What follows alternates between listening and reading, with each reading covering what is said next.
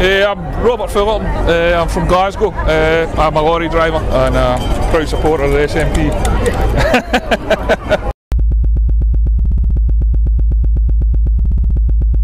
yes, very. Yeah, very.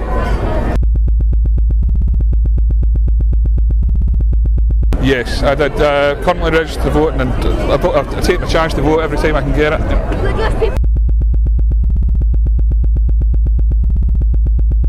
The NHS in Scotland, uh, to my experience, has been great. Uh, the only thing is, is struggling because of the, the, the, cutbacks for Westminster and their austerity policy. Uh, people don't realise when they cut the health budget down there or privatise something down there, it affects the, the, the, the block grant. You know, so if they privatise one part of the NHS down there, means it's a, a cut in Scotland's funds, which then we have to take out the general budget to keep things Definitely, aye. Uh, as I say, because you're basically just going to be it's a shackle to Westminster.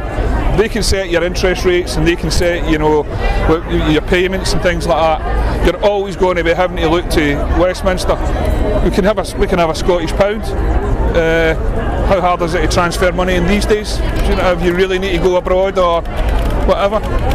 Scotland's a well-respected country throughout the world. Its products, its people. We have no problems.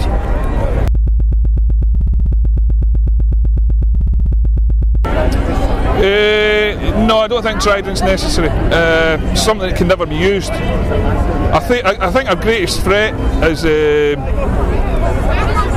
the lack of you know the try to take democracy away from people. I think that's that's our greatest threat. You know, uh, and the West and the Westminster establishment.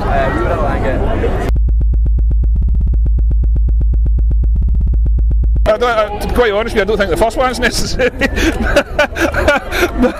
but uh, a hundred million pounds a year for that, and you know, there's people having to go to food banks. You know, they turn up three hundred pound a day for expenses just to sign their name in a register and then leave to go to one of the the, the, the basically funded restaurants in Westminster while people are starving. It's nah, it's not right. Not right.